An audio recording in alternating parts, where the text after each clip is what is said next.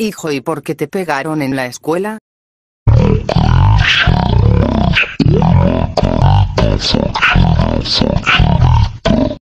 Ya jóvenes, vamos a empezar la clase. Profe, había tarea.